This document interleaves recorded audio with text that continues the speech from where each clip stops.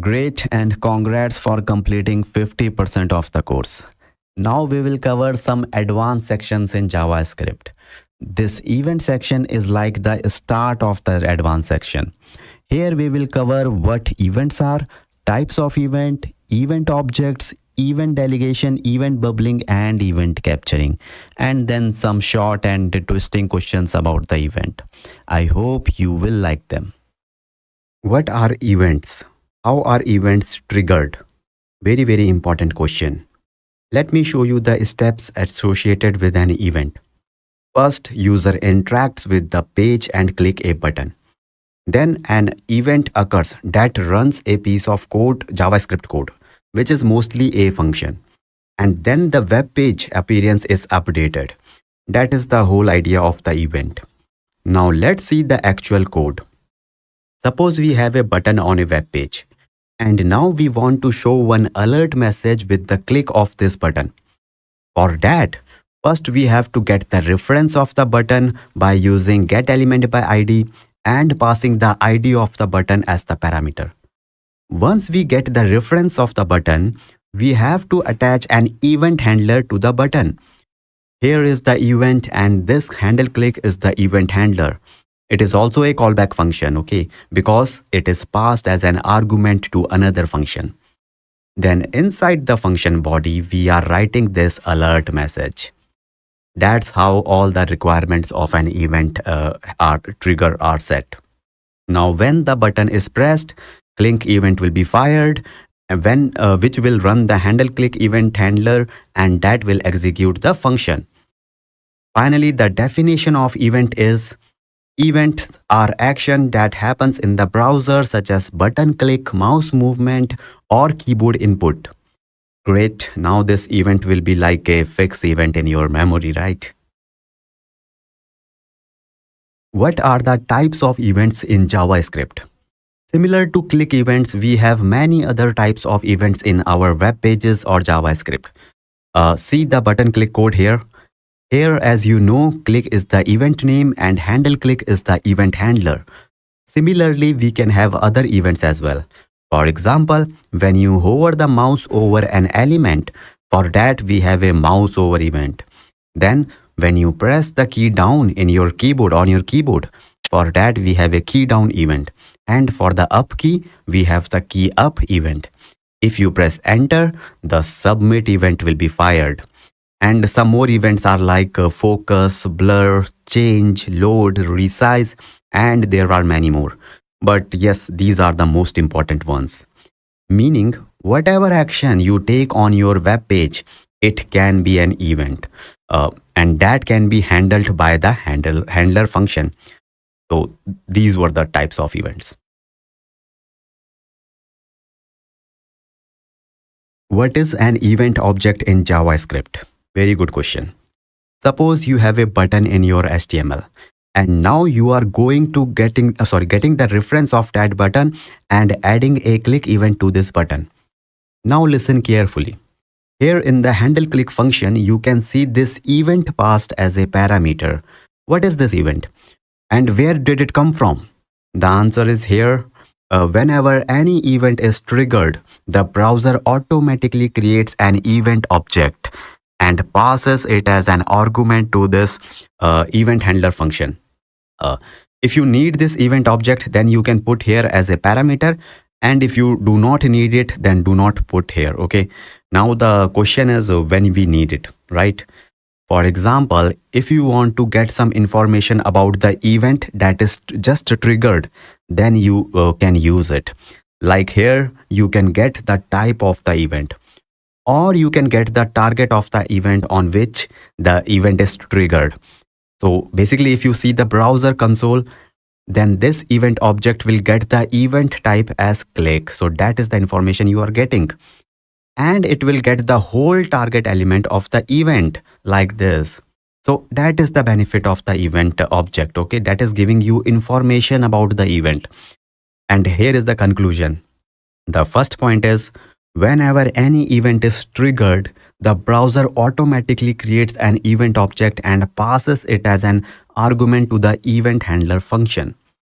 The second point is the event object contains various properties and methods that basically provides information about the event such as the type of the event, the event, uh, the element that triggered the event, etc. etc. Okay.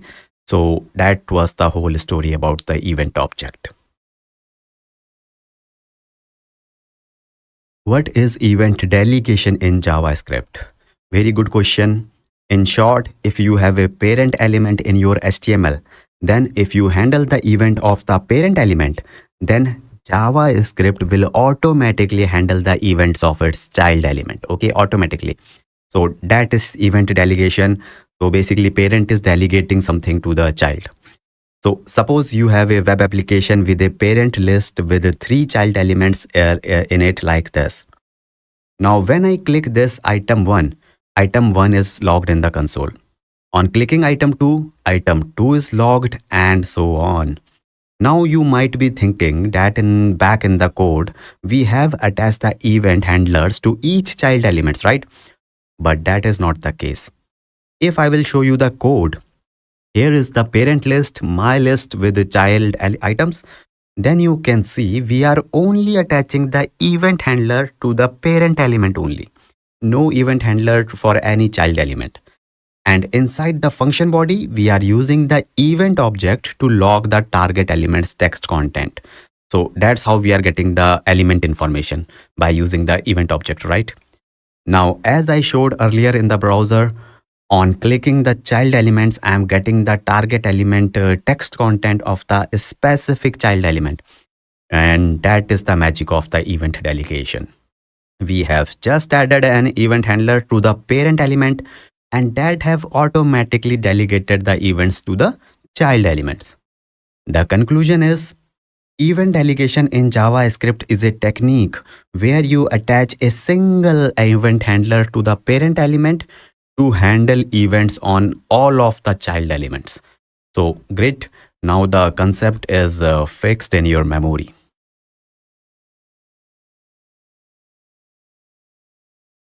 What is event bubbling in JavaScript? Very important question. Suppose in your HTML you have one outer div element and inside it there is one inner div and inside that we have this button with id my button basically nothing but uh, the nested elements right? Now as per the event bubbling if we click the innermost element of the html which is here button is the innermost right? Then first this button events will be event will be triggered. Then the next level inner div element will be triggered. And then the outer div element will be triggered. So that is event bubbling you know bubble. It will grow grow grow okay? So like in this diagram the event will be triggered from the bottom to the top of the DOM. And that is event bubbling let's see the code. Here first we will get the reference to all the elements and add the event handlers with all the elements like this okay? Uh, now here is the function. See no extra code or setting is required. If you trigger the event of the button which is the innermost then all the parent events will be fired automatically so that is event bubbling the conclusion is event bubbling is the process in javascript where an event triggered on a child element propagates up the DOM tree, okay? And triggering event handlers on its parents elements. Great. Now I think in this life, lifetime, you will not forget it. How can you stop event propagation or event bubbling in JavaScript? For example, if we have this HTML with nested elements inside it, and then this JavaScript code which will automatically enable event bubbling for nested elements by default, right? Now suppose we do not want this behavior of event bubbling in our project or application. Then for that in the handler function, we have to call this stop propagation method of the event object like this. Okay. On So now on the web page, if you click the child button, only the event attached to the child element will be triggered and the ID of the child element will be logged. And that this method will not allow this stop propagation will not allow the parent element event to be triggered okay? So the output will be something like this. The answer is event bubbling can be stopped by calling the stop propagation method on the event object. That is the short answer of this question.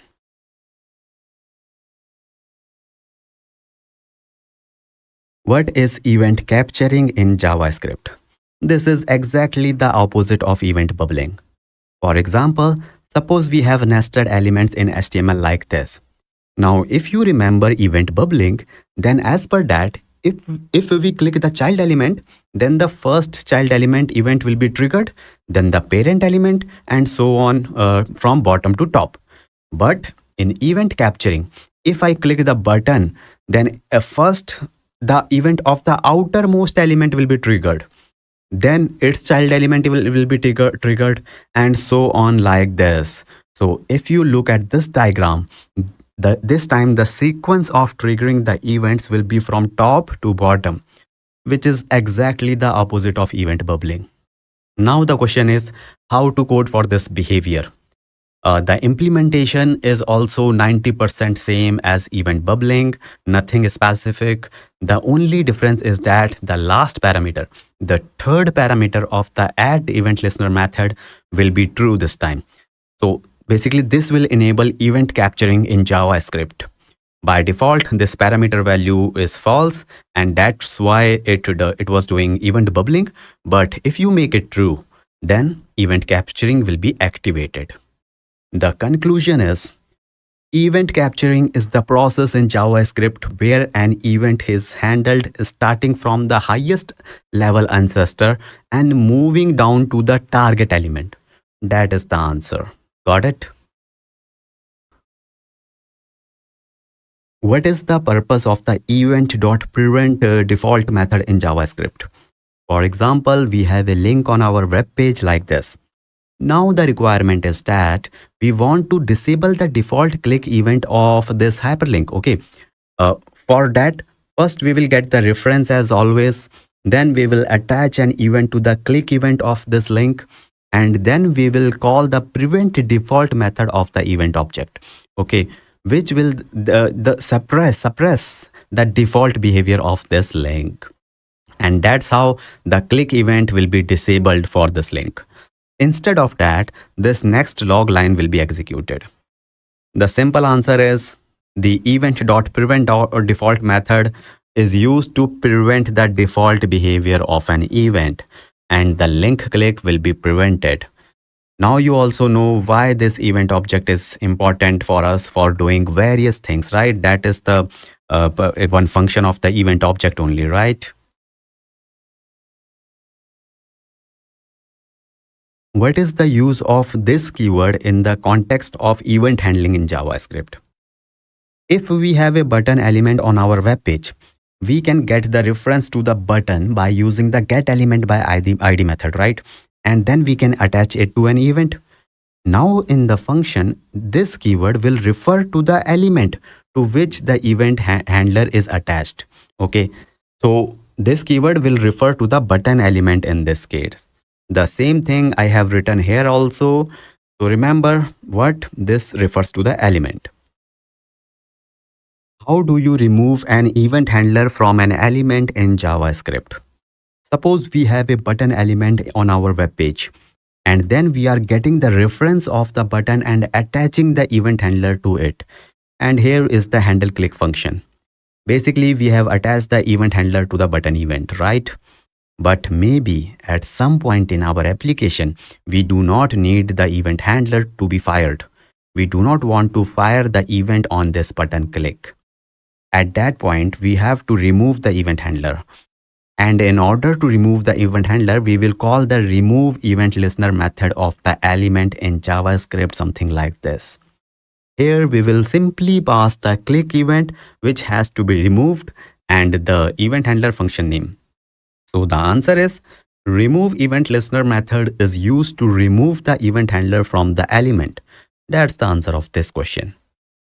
Congratulations on completing one of the greatest events of your JavaScript programming life. Now we will close the chapter on closures in JavaScript.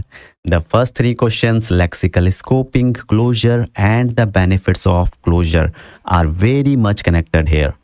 Then we will check the limitations of the closures and how the closures are different from regular functions. Ready? So let's start with the first question.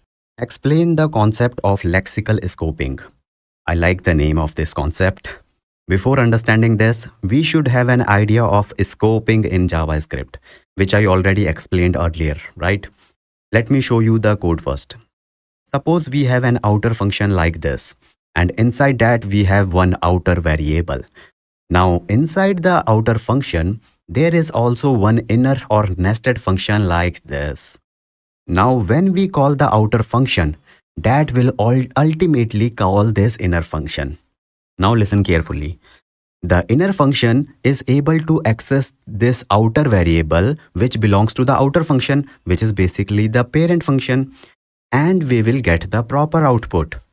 So here this ability of the inner function to access the variable of the outer function is called lexical scoping and this is the base of the closures also right.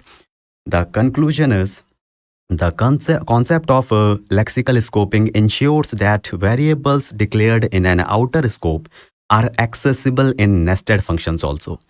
This is the concept and that is the base of the closure. What is closure? This is a very important question and asked in many interviews. Before this, we should have a basic understanding of lexical scoping and functions. Now suppose we have an outer function and inside that we have one inner or nested function. Now here you can see we are returning the inner function from the outer function, right? Now when we call the outer function, it will basically return the inner function only. And that we are assigning to this closure variable. Then finally, we are calling the closure function like this. This will call the inner function and since inner function is able to access this uh, outer variable of outer function because of the lexical scoping, finally outer scope will be logged in the output. Now here are two questions that comes to your mind. First, what is the difference between lexical scoping and closure? Basically, closure uses the lexical scoping concept, okay?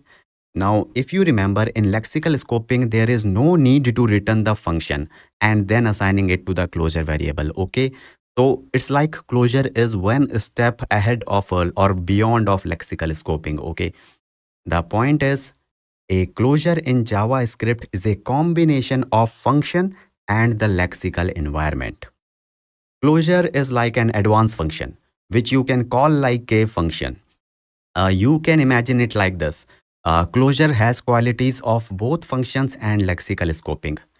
Now the second question is, what is the benefit of doing all this, right? How is this uh, scoping, uh, this closure helping, scoping helping with closure and why we need these closures? That I will explain in the next question. What are the benefits of closures? We already know the definition of closure. A closure in JavaScript is a combination of a function and the lexical environment. Now let's understand the benefit of closure. Suppose we have a function create counter. Here we have one variable count inside the outer function. And we have one nested or inner anonymous function inside this uh, outer function. In this nested function, we are able to access the outer function variable count value because of the lexical scoping concept. Then we return the function by using the return keyword you can also give some name to this function, uh, but at the end, write the return function name statement then. Okay, that's also the same thing. Now outside, we are assigning the return of the create counter function to a variable name closure1. And then we are calling our closure1 like this closure1. The output is 1 because initially the count was equal to 0. But inside the function, it is incremented to 1. So now listen carefully, uh, carefully and here is the important point. When we will call the closure 1 again, then might be you thinking that this is a separate call and the output will be again 1. But that is the surprise and the role of closure here.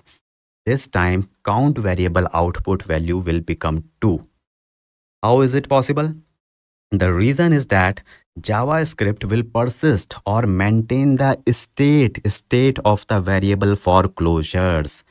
every time you call closure 1 it will pick the last modified count variable okay variable value count in other words we can say that even if closure 1 finishes executing the value of the count variable will be maintained as the new modified values like 1 2 3 and so on that is the magic of closures now here i am writing some benefits of closure the first benefit is Closure can be used for data modification with data privacy. In the example, we were using the closure to modify the data count and maintain it also, persist it, right? But if you will not use the closure, uh, then to modify the count, you will expose this count variable outside this create counter function, right? Right? You have to make, make it global or something. Then maybe some users or some developer will set negative value to this count variable okay? Or they will tamper it they will hack it they will set it to something which is invalid meaning the data will not be safe then. But with closure you can put all the validation validation logic inside the inner function to disallow the invalid or the bad values. Basically, then you are combining the data and the function together to access the data value. This combination is called encapsulations also, which is one of the pillar of the OOPS concept. Uh, then the third benefit of the closure is persistent data and state. Each time create counter function is called, it creates a new closure with its own separate count variable. Okay, for example, if you see this closure 1, the last value was 2. But if you create a new closure using the create counter method again, then this will be a separate new and different closure, right? So the output will be fresh 1 again uh, from the fresh count logic at the top, right? Meaning closure 1 and closure 2 will maintain different states and run independently. The third and the last benefit is code reusability. The closure returned by this create counter function is a reu reusable counter function, right? It can be used in multiple places and that is the advantage. All right, now maybe it's a long story. So in short, you have to just remember two things. First, the definition. A closure in JavaScript is a combination of a function and the lexical environment. Second, closures are used to modify data or variables safely. That is the advantage. What is the concept of encapsulation in the context of closures? First of all, what is encapsulation? Encapsulation is one of the principles of object-oriented programming. Encapsulation is used in programming to make the data more secure. Here is the code of the closure and you can see that the data count is equal to 0 inside the outer function create counter. So basically data count and the function create counter are wrapped or bound together. Now if you want to modify that data count value outside this function, okay, anywhere outside this, then you cannot do it directly by setting the value of the count. That is not possible. For that, first you create the closure and then call the closure like this, right? That is how you can just read the data also. Some, some, maybe some data you want to just read. You do not want that anyone should update it. So better use the closure. And as you can see, finally, we are just combining the data and function to access the data, right? That com combination, that wrapping is encapsulation only. The conclusion is encapsulation is the bundling or wrapping of data and function together to provide data security and privacy. What are the disadvantages or limitations of closures? Everything has pros and cons. If you see this closure code, here you know closure will persist and maintain the state of data whenever you call the same closure again and again, right? Now, if some closure one, uh, closure like uh, closure one is no longer required, they must be released, okay? Because the data values inside closures will persist and maintained in the memory memory of the javascript so the limitation of closures is memory leaks because uh, there is some memory occupied there and it is of no use. That means it will impact the performance yeah right? So basically if closures are not properly managed they can hold on to unnecessary memory because they retain the references to the variable they access right? So that will then impact the performance which is basically a disadvantage. How can you release the variable references or closures from the memory? For example, if this is your closure code, then you can release the closures when they are no longer required by assigning null to them like this. The answer is you can release the reference to the closure by setting the closure to null. That will prevent the memory leaking of, uh, caused by closures. What is the difference between a regular function and a closure? That is the code for the regular function.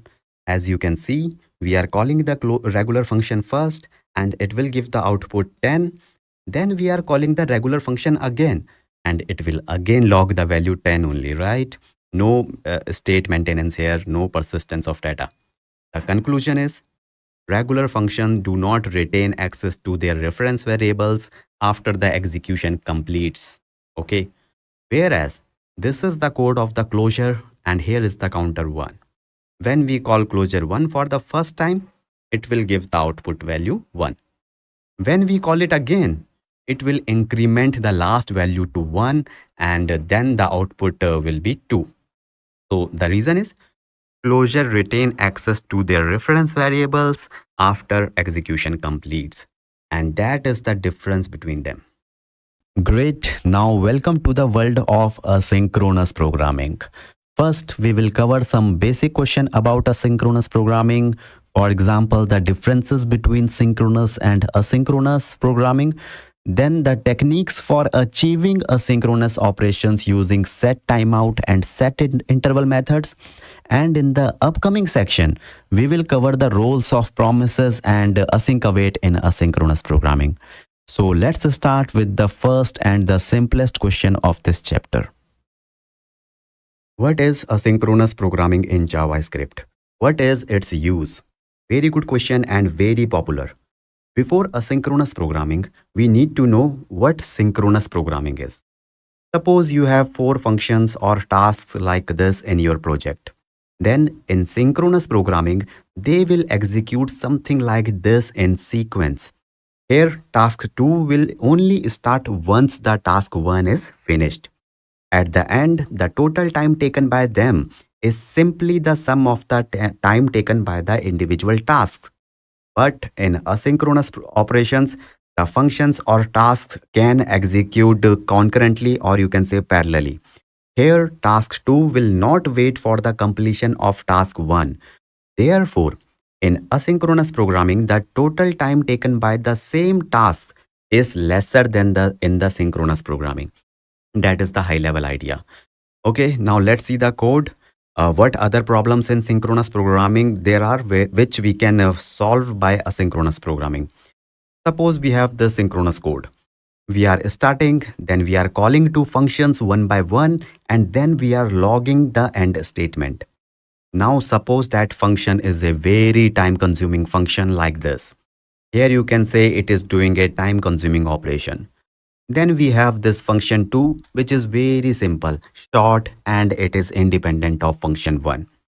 In synchronous programming, function 1 will block the execution of function 2 until it uh, function 1 completes itself, right? That is the problem. It will delay the whole operation and it can also hang or stuck the browser. But in asynchronous programming, function 1 will not block function 2 and both can run concurrently and parallelly.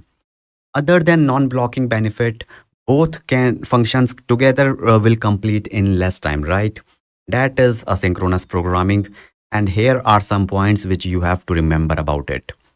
Asynchronous programming allows multiple tasks or operations to be executed concurrently.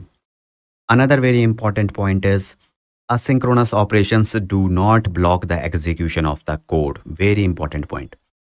Now the question is when to use asynchronous programming in what scenarios in real applications. Okay. So the first can be fetching the data from the external API. Second, while downloading the large files. Then, while uploading the large files. Then, doing some operations like animations and transitions or any time consuming operation. So, that is the idea of the use of the synchronous programming. But remember one thing JavaScript is single threaded, not uh, like C Sharp or Java, which are multi threaded. Okay. So basically, JavaScript can execute single task at a time, but by managing the task's execution properly by asynchronous programming, we can somehow make them concurrent and parallel. Like uh, if one task is uh, waiting for some resources, then at in between we can execute other function in between.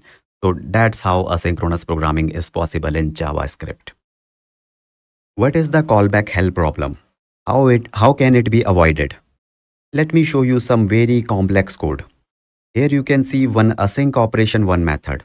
It is accepting an anonymous function as a parameter and inside this anonymous function we again have one more async operation to call which is again a callback and then inside that is another async operation 3 method and so on and so on. This way of creating multiple nested callbacks is a problem and is called callback hell. The definition is callback hell also known as the pyramid of doom refers to the situation when multiple nested callbacks are used leading to code that becomes difficult to read, understand and maintain. Now there are two ways to solve this uh, callback hell problem, hell hell problem. Okay, the first is using named functions as callback. Okay, so basically these anonymous function make the code more complex and unreadable, right? So if it is a named function, then this code will be smaller and simpler. The second way is to use promises. And here is a sample code for using promises. Yes, I will explain the promises in upcoming question, but uh, that is one way to solve this callback hell problem with much simpler code, uh, code in, simple, in comparison to this one. The next way is to use the async await keyword. It is ju just the next level of promises, okay, that makes the code more readable. Uh, I will also explain that in upcoming question. So these were the three ways to resolve the callback hell problem. Great. As I promised, after completing the basics of asynchronous programming, we will cover the role of promises in asynchronous programming. Here we will cover these questions. What are promises? How to implement them and what is their use? Okay. Then what are promise.all and promise.race methods? That will give you a full understanding of the promises. So let's start with the first question. What are promises in JavaScript? Very, very important question in JavaScript. Suppose you have a piece of code P1 that does some processing. Now, if you will apply promise to this prom, uh, process P1, then promise will make sure to give back some result. Okay, either the result is completed, fulfilled or resolved or the result is an error. So basically to ensure that we get some result from the code, we use promises with the code okay? Now here is the pseudocode uh, pseudocode of promise. The first first thing that happens inside a promise is an asynchronous operation with the help of the set timeout or set interval asynchronous methods okay? Then you can see that promises are created with the help of this promise constructor and it is accepting two parameters resolve and reject which are basically callback functions only now the question is, where is the declaration or the body of these uh, resolve and reject functions? The answer is that resolve and reject are inbuilt functions provided by the JavaScript engine only. You do not have to write any declarations for them, okay? After the synchronous co code, if your promise operation is successful, then it will call the resolve function. And if it fails, then it will call the reject function these are the some basic steps to set up a promise okay? Uh, let's conclude some points about promises. Promises in javascript are a way to handle asynchronous operation. That is their first uh, uh, promise. Then a promise can be one of, in one of the three states pending resolved or rejected. No other state. So when the promise is running or executing, it is in a pending state. After getting the result, it will be either resolved or rejected state. Okay, the last point about promises is a promise represents a value that may not be available yet but will be available at some time in the future. It means when you make a promise, it will take some time to execute, but in the future, future means like 3 to 5 seconds or not 3 to 4 years, okay? So in the future, you will surely get the value or the result, either success, failure, with some reason okay? That is the promise. And that is the high level idea about the promise which you should promise me to never forget okay? In the next question i will show you the implementation of promise. How to implement promises in javascript? Here you have to remember four things. First you have to use the promise constructor to execute an asynchronous function. Then you have to use resolve and then method uh, and then method to settle the success response. Or you have to use the reject and catch method to settle the error response okay? In the code first we have a my promise constant that gets the result from the promise constructor and now inside the promise we are using the set timeout to make our operation asynchronous okay after 1000 millisecond, the code inside it would be executed. Here we are generating a num random number between 0 to 9. Now, if the number generated is less than 5, we mark it as a success and call the resolve callback function like this. And if random number is greater than 5, then we consider it as a failure and call the reject callback like this. In real applications, we put the uh, API calling basically inside this. So our promise is now ready to run asynchronous operations. Now the question is how to run this promise and how to handle re resolve and reject cases. For handling resolve and success case, we call then function of promise my promise like this and pass the result of the resolve function as the parameter here. So inside this, you can print the result or in the case of an API response, you can retrieve the data here basically. But if it is a failure or reject case, then my promise will use its catch function like this to manage the error. And here again, we will pass the result of the reject function as the parameter. So you can see um, uh, then inside we are logging the error message of fa failure, right? Here is the output since I used the random number method, sometimes the value will be less than 5 and sometimes it will be greater than 5. So sometimes the result sent from the resolve method will be logged as success and sometimes the result sent from the reject method will be logged as error. Every time you reload this page, the result will be different. This is the simple implementation of the promises. When should I use, uh, when to use promises in real application? All right, here are the cases when you can use promises in your applications. For API calls, file handling, data fetching, animations and visual effects, and event handling. In short, wherever you want to manage asynchronous operations, you can use promises there. The point is, Promises are useful when you need to perform time-consuming operation in an asynchronous manner and later handle the results when they are available. Because as the name suggests, promise will not give you data immediately, but it promises you to give the result after some time definitely. What is the purpose of promise.all method? Very good question. In short, Promise.all method is used to handle multiple promises and respond based on the result of those promises like this. Let's see the code. You can see multiple promises here, promise 1, 2 and 3. Uh, simple promises with the, just the resolve methods, okay? Nothing complex about these promises. Now to handle multiple promises concurrently or parallelly, we can use the promise.all method like this. Here you can put all the promises inside an array like this and then pass the array as a parameter in this promise.all method. This promise.all method will wait until all the individual promises are resolved. Once all results are resolved, then this then function will accept the result of, uh, of all the uh, resolved promises in an array as the parameter and inside logging the results of all the promises. But, but, but, if any one promise fails or is rejected, then immediately the catch function will be executed. Okay, so you are no, uh, any any any promise will be failed.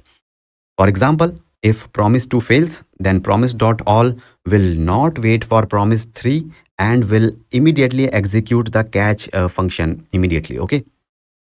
And if you notice, the promise dot all function is returning the result like a single promise only. Okay. So finally, here are the three points about the promise dot all method which you can remember. The first point is promise dot all is used to handle multiple pro promises concurrently. Second, promise.all takes an array of promises as an input parameter and returns a single promise. The last point is promise.all waits for all the promises to resolve or at least one promise to reject. That is the theory and the explanation of promise.all method.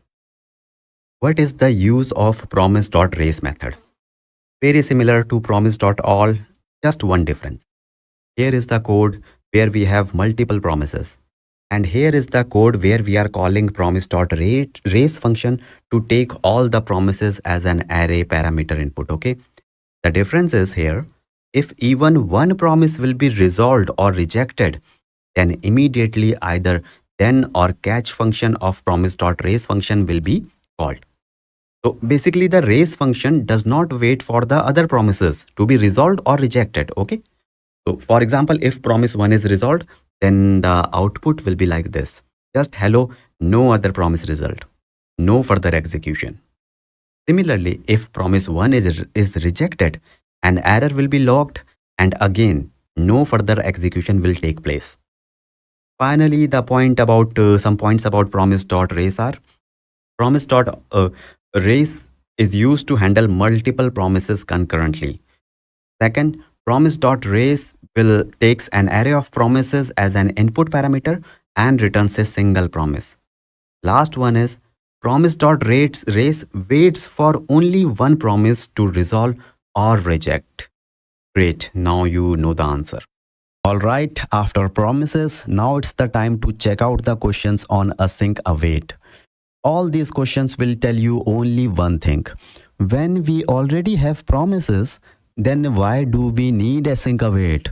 So let's start exploring. Explain the use of the async and await keywords in JavaScript. It is very important to know the role of the async and await keywords in JavaScript. Okay. So here is the code where one function delay accepts millisecond time as a parameter and then returning a promise which is uh, printing this running statement inside the code by the set timeout asynchronous function. Now let's see the async await code.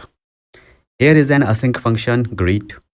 The role of this async keyword is to make the whole method run asynchronously. Okay, what it means is when I will execute this, here is the output then. Then the starting will be printed. Then this delay function will be called with the two, 2000 milliseconds as a parameter. Now because this is an async method, this delay function will not block the code and therefore not blocked will be executed. In the output, you can see that after the start, not block is printed. This is the benefit of the async keyword. It will make your complete method asynchronous. Now the point is, what is the role of the await keyword here? Okay, after printing not blocked, here you can see the await delay function call again. Now this await keyword is required to block the code until this delay method is completed. Okay. So it might be that this delay method is getting some data which is very important and that data we might have to print later. That's why listen carefully. We intentionally use await keyword to block or to wait for the response of the delay method. Now in the output, you will see this running statement from inside the delay method. And only then after this block, uh, will it be printed. And in the output, the last statement running is coming from the above delay call of 2 second, which was uh, asynchronous and not blocker, right? Because it did not block anything, that's why we completed after it's completed after 2 seconds, which is at the end now. Finally, the definition of async and await keyword is the async keyword is used to define a function as an asynchronous function, which means the code inside the async function will not block the execution of the code uh, of other code. But, but, but, at some points inside the async method, we want the executions to be in a synchronous manner only. Therefore, at those points, we need await keywords. The await keyword is used within an async function to pause the execution of the function until a promise is resolved or rejected. So that is the whole story about the two brothers whose name are async and await. How do you handle errors in async and await functions?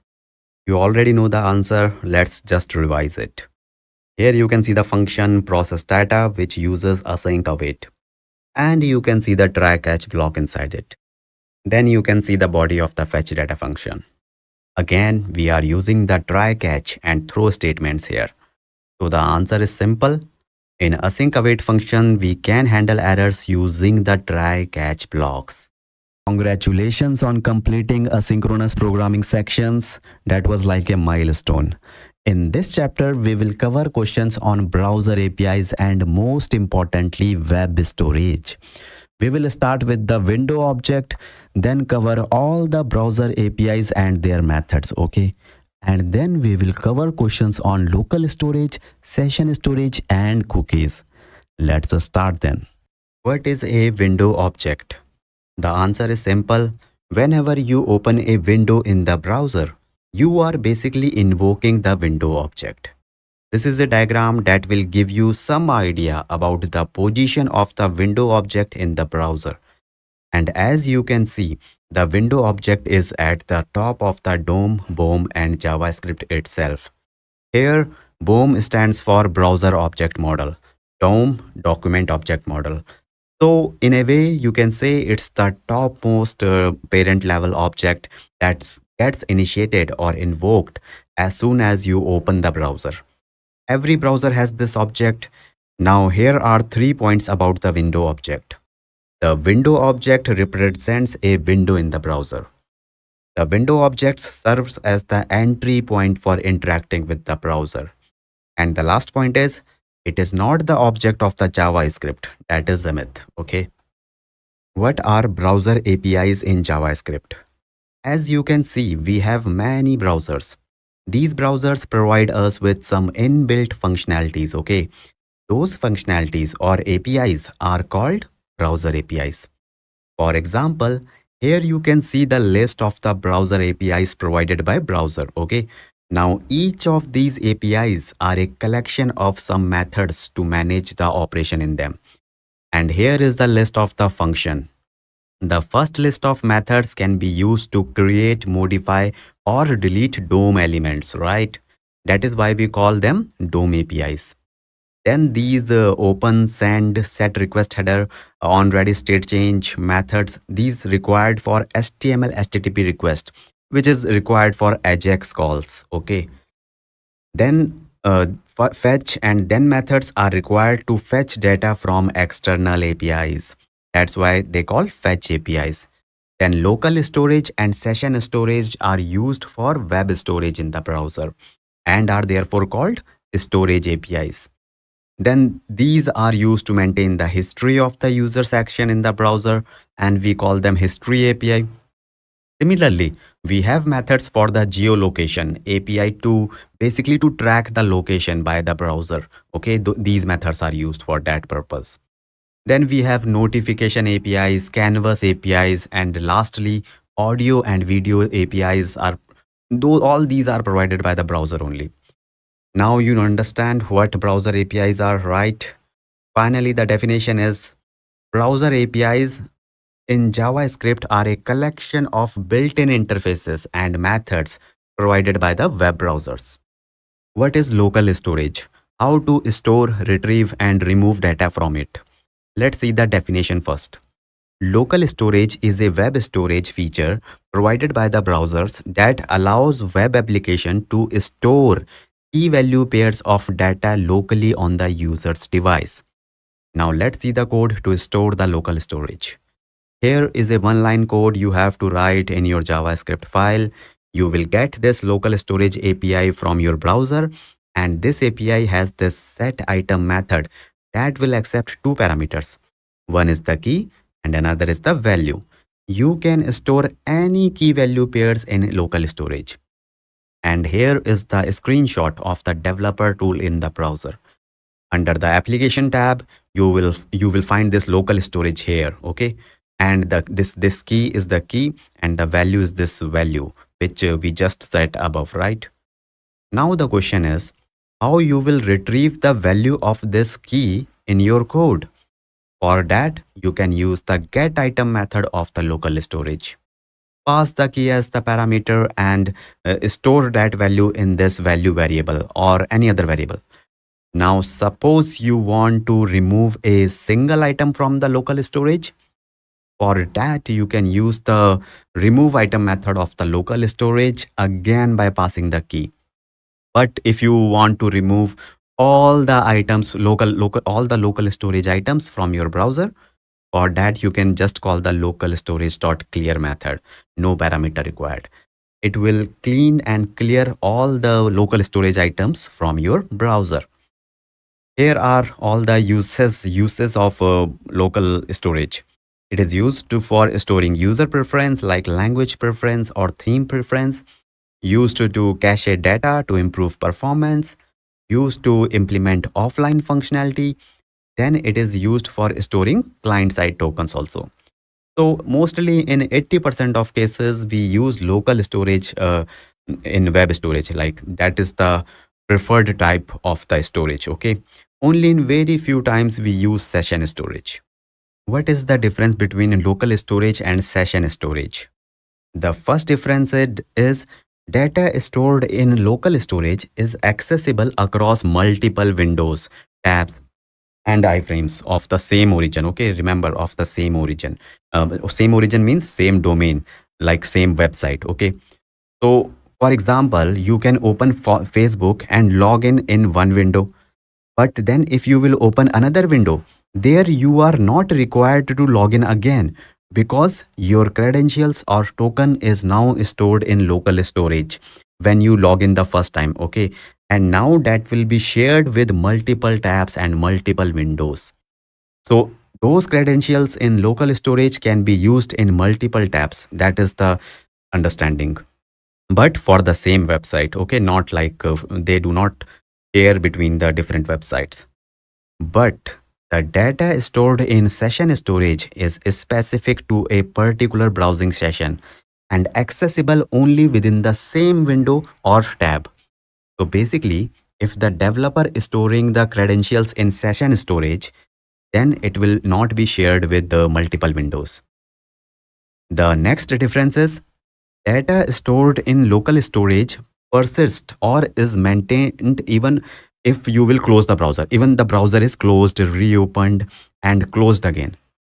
But data stored in session storage is cleared when a browser window is or tab is closed. So okay? So it's automatically clear. No code is required for that. So if you close the browser then all the session storage data will be automatically deleted. The last difference is Data stored in local storage has no expiration date, whereas the data stored in session storage is temporary and lasts only for the uh, duration of the browsing session. So basically these are the differences.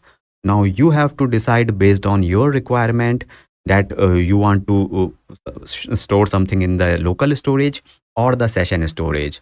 So if it is a username credentials, local storage are better. But uh, if it is a something like form data, something which the users filling the form and uh, step by step process or e or some uh, yes, items are added in the e cart, those kind of things are, uh, can be stored in session storage. how much data can be stored in a, a local storage and session storage? Now that depends upon the browser. Most browsers support 5 to 10 mb data per origin okay so that is the amount of data you can store in the local or the session storage uh, 5 to 10 mb uh, for example google chrome supports 10 mb per website origin uh, Firefox supports maximum 10 MB, Safari supports uh, 5 MB per origin, and Microsoft Edge supports 10 MB. So in short, it is like 5 to 10 MB is the right answer. What are cookies? How to create and read cookies? Okay, so first the definition. Cookies are small pieces of data that are stored in the user's web browser. Okay, now let's explore the code for how to store cookies and how to retrieve their values. Creating a cookie is very simple by just setting up this uh, document dot cookie property to like uh, cookie name equal to cookie value. Here we are just assigning, uh, we can assign multiple cookies name to the multiple values like this. So if now you look at the browser developer tool under the application tab, we will find all these cookies items names and values like this. Now the question is how to retrieve the cookies by cookie name? For that we have to call a get cookie method like this. We have to create this method where basically we are passing the cookie name 3 as the parameter. And then here is the body of uh, the get cookie method which we have to create. And inside this document dot cookie will get all the cookies of the website okay and semicolon separator. Then we are splitting all the cookies and then iterating them one by one using the for loop. And inside if the cookie equal to cookie name which we got from the parameter there then we are returning the specific cookie and getting the output like this in the browser so for cookie name 2 uh, we have the value cookie value uh, 3 in the browser so uh, that was is the whole idea to create and read the cookies not from the interview perspective but now we have an idea that how what is cookie how we create them and how we read them, right? What is the difference between cookies and web storage? The first difference is cookies have a small storage capacity of just up to 4 KB per website or domain. And that is the limitation of the cookie also. Whereas web storage has a large storage capacity of up to 5 to 10 MB per website. That is huge as comparison to the cookie, right? The second difference is cookies are automatically sent with every request.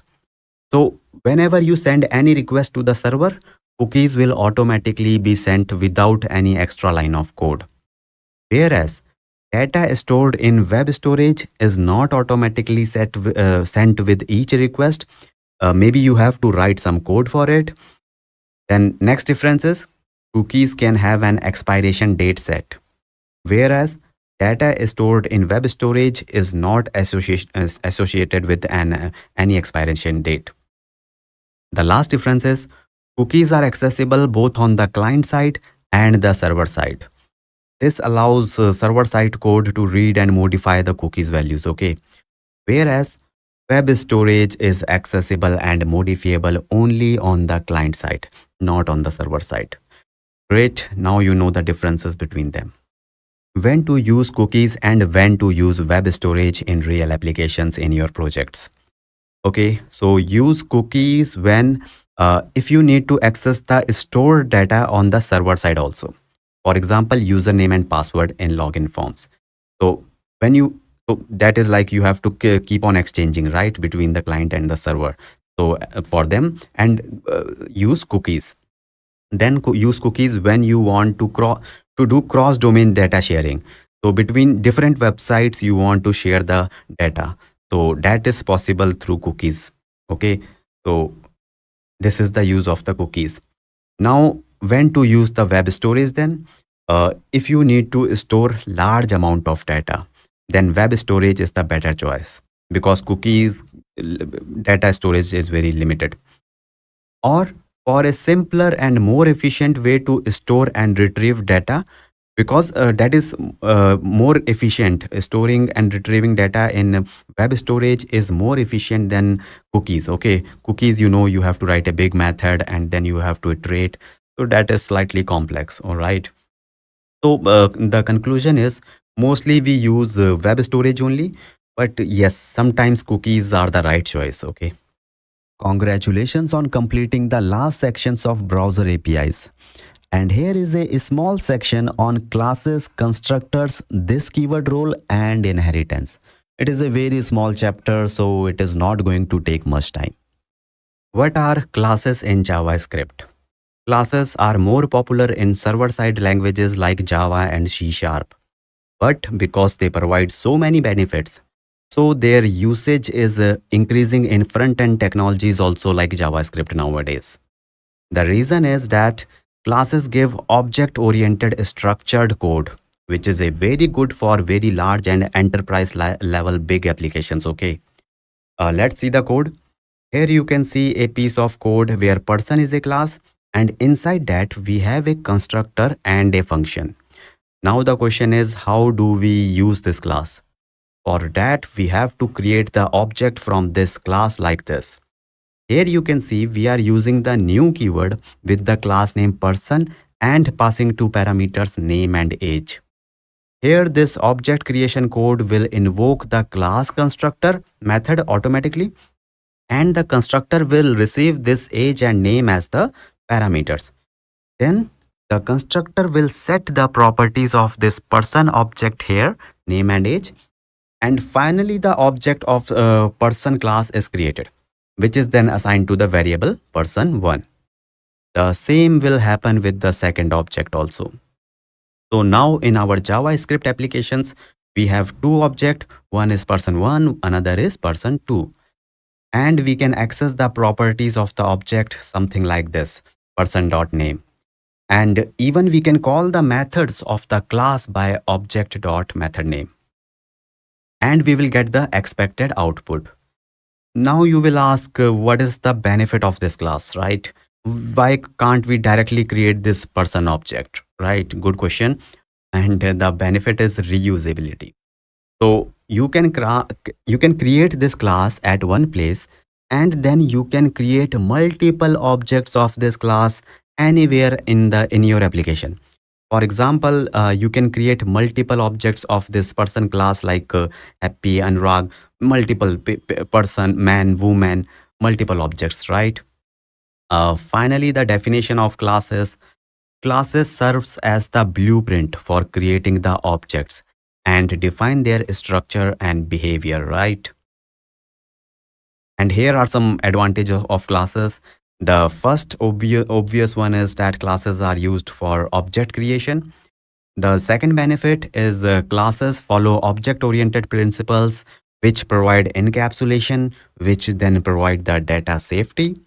Uh, then object-oriented programming also provides inheritance, which in uh, inheritance, what inheritance provide? It provides reusability.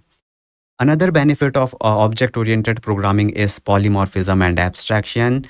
So that is a very deep level discussion, but maybe I will cover this in some separate question.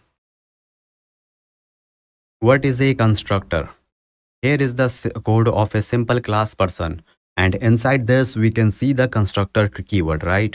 The constructor is nothing but a function. Remember, it's just a function of the class that is invoked automatically whenever you create any object of this person class. And then the logic inside the constructor will be executed. So if you want some code to be executed automatically whenever an object of this class is created, then simply put that logic or code inside the constructor, okay? Finally, the definition is constructors are special methods within the class that are automatically called when an object is created of the class using the new keyword. That's it. What are constructor functions? We already know we can have constructor constructor inside the class like this. But suppose you do not want any methods like say hello to be there inside the class. Okay, you do not want any method. Okay, so either you should remove the method from the class. Okay, or instead instead of creating a class, you can just create a constructor function like this. The difference is here you cannot put any function inside the constructor function. Okay. So this will work the same, uh, same as a class work, which uh, does not have a function. Okay. and the way of creating the object will remain the same. The definition is constructor functions are a way of creating objects and initializing the their properties. What is the use of this keyword? The definition is this keyword pro provides a way to access the current object or class. For example, suppose you have a class uh, uh, like this. Now inside the see the constructor having uh, this uh, this dot name equal to name. Here name is the value you are getting from the parameter name. Okay, and this dot name what it is? It is referring to the property of the person class. So basically we use this uh, this keyword here to represent the class uh, which uh, which name is person so see the definition again. This keyword provides a way to access the current object or the class and here we are accessing the class similarly in the constructor function you can also use this keyword with the property names like this. Now the question is what is the benefit of using uh, uh this this keyword here? Uh, the benefit is, for example, if you do not use this keyword, this keyword here with this class person, okay, then tell me how will you differentiate which one is the parameter and which one is the property of the class. So you cannot differentiate then, right? That will create the confusion. So same thing with the constructor function also, you cannot differentiate. So, so this keyword is used to represent the current object uh, or class and to avoid any confusion. That is the answer of this question. Explain the concept of prototypal inheritance. Let's understand the code first. Suppose we have an object vehicle like this. The prop type is a property and its value is a car. So vehicle is of type car. And then this drive function, which is just printing one line here driving. Now we can use this parent object to create a new child object using the object.create method like this. You can see we are now uh, creating a BMW object by using the vehicle object. This object.create method accepts a parent object as the parameter and the child object BMW will be created. So this is called a prototypal inheritance. Here, the child object will inherit or acquire all the properties of the parent object automatically if you will log the type of the for example uh, log the type of the bmw object like this then the result will be car which is coming from the parent vehicle object okay? Because there uh, you have nothing you have done inside the bmw setting the type you have not done. And then you can call the parent class function from the child object. Oh, that is also possible. So the benefit is you can keep common all the common properties and function in a base class uh, like a car like this. And through prototypal uh, in inheritance you can then create other objects like mercedes tesla toyota etc because all these objects will have the same type car right? And the same drive method. So maybe they have some different properties like bmw car uh, might have a red color so you can keep those changeable properties or function inside the child class object, not in the parent class and the common functionalities and properties in the parent uh, class. So that is the benefit of the prototypal inheritance, the reusability of the code. Finally, the definition is prototypal inheritance allows object to inherit properties and methods from the parent ob objects. That is the answer of this question. Great, you have already covered 80% of the course and that shows your dedication. In this chapter number 18, we will cover questions on ECMA script and modules. Here is the list of 7 questions. We will start with the basics of ES6 and then we will check out some questions on modules in JavaScript. So let's start with the first question. What is ES6? What are the new features introduced by it? ECMAScript, which is ES6, is the standard that JavaScript follows. Uh, you can think of ECMAScript as a company and whatever concepts it introduces for JavaScript, then all the browsers like Chrome, Edge, Firefox, they have to introduce or integrate those apis and function functionalities into their javascript engines so it is like the top level for the javascript like um, es6 okay now here are the popular features that uh, ES6 introduced in JavaScript. Uh, const keywords, then let and const keywords, arrow functions, classes, template literals, destructuring assignment, default parameters, rest and spread operators, promises, modules. All these I explained in my previous questions. So basically the this is uh, ES6 is the standard for the JavaScript.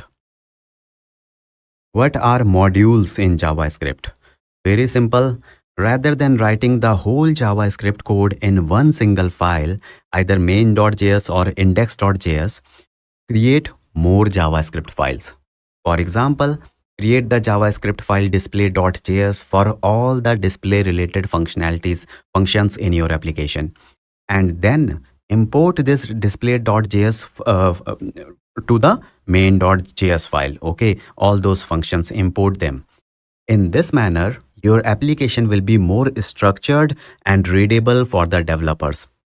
Also, one file can be used in many modules like main.js and other other. So that is one of the benefit of modules. The definition is modules in JavaScript are a way to organize the code into separate files making it easier to manage and then reuse, the code across different parts, parts of the application. Now let's see the code quickly. Uh, suppose you have this uh, HTML on your web page. Here you are putting the source as an index.js file, which is the JavaScript file. But here as you can see, we have this type equal to module. What does that mean? It means index.js file is a module also. So if you will see the code of uh, the index.js file, here you can see that we have these import statements, import statements for add, subtract and multiply methods from different JavaScript files. And then down here, we are calling these methods. But where are the declaration and body of these functions? These methods are not in this index.js file. These method bodies are in other files. For example, add method is here in the add.js file, subtract method in the subtract.js file, multiply in multiply.js file. The point is, in big application, there can be many functions like this.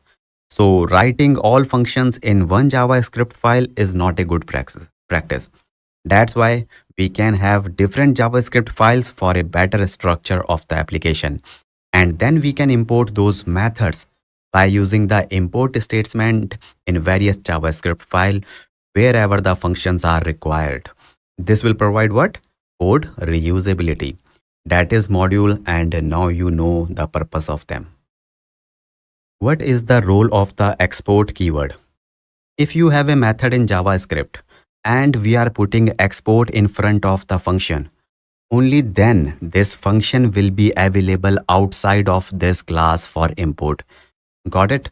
So basically then in the index.js file, we will be able to import the add method from the add.js file like this. But if you remove this export keyword, then this import statement will not work as the add method will not be available for the import because it uh, does not have that uh, export keyword. So whole point is the export keyword allows you to specify functions for use in ex other external modules. That is the answer of this question. What are the advantages of modules? The most important advantage is code reusability. You will write a method in one JavaScript or class and then you can import that method into multiple uh, JavaScript files. Okay. Other benefit is uh, code organization.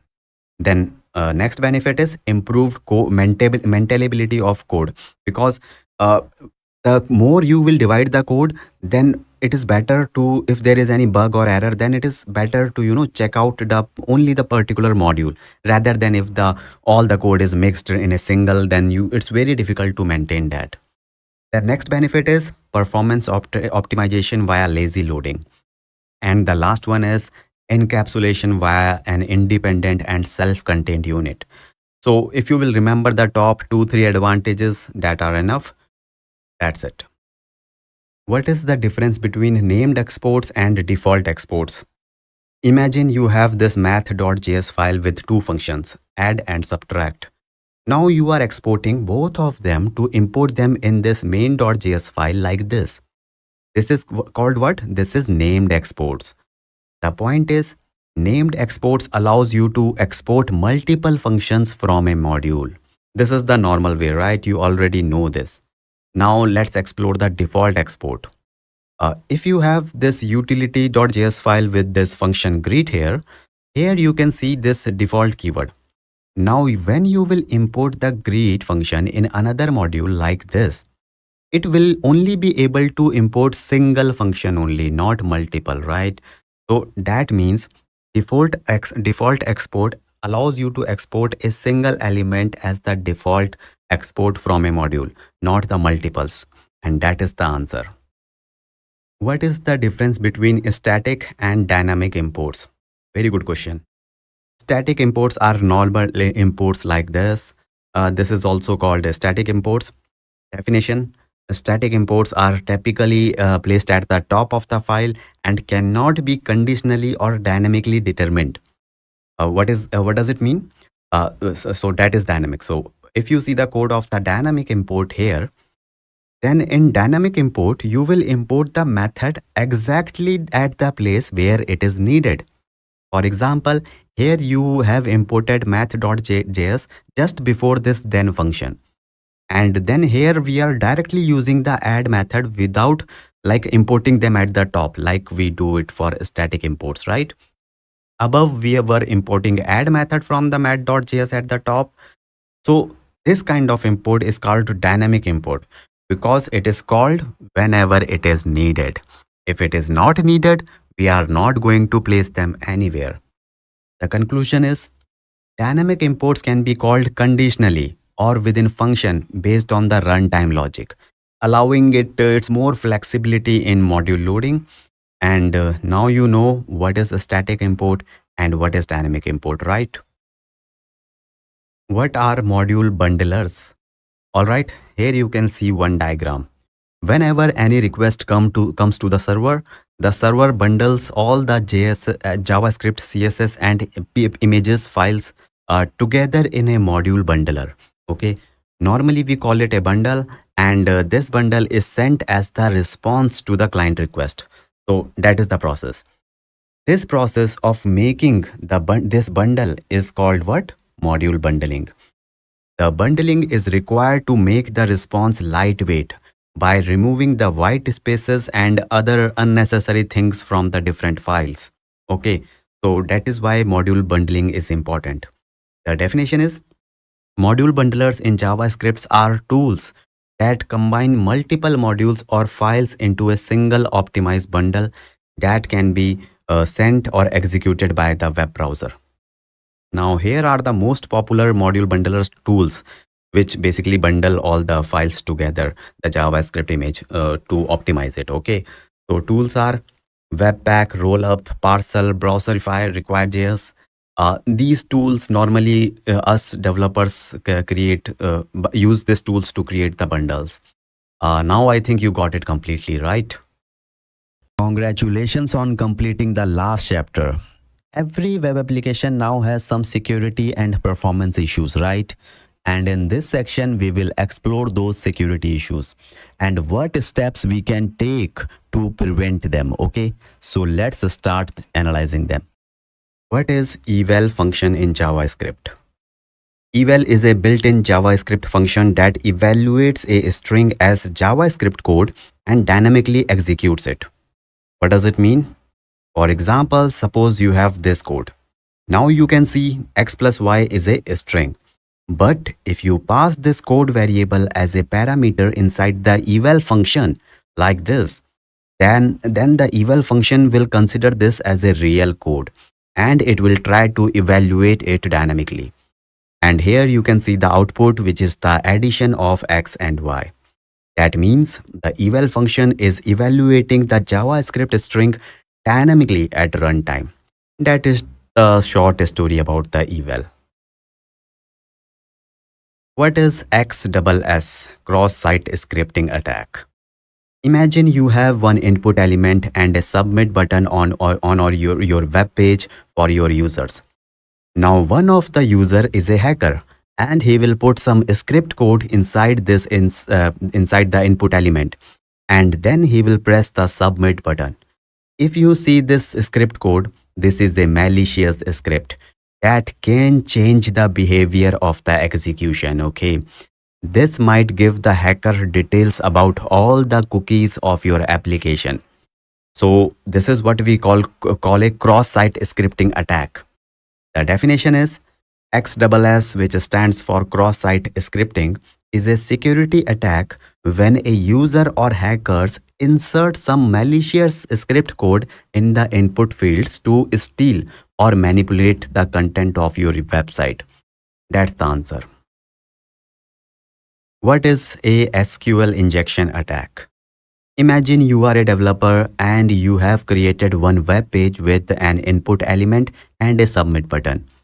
Now one hacker or user will just put this SQL script inside this in, uh, input element and click submit. You can see this is a valid SQL script for getting the results. So if you do not validate the input uh, as a developer, then this execution can show the result of this SQL query to the hacker. That is dangerous, right? Your data is exposed.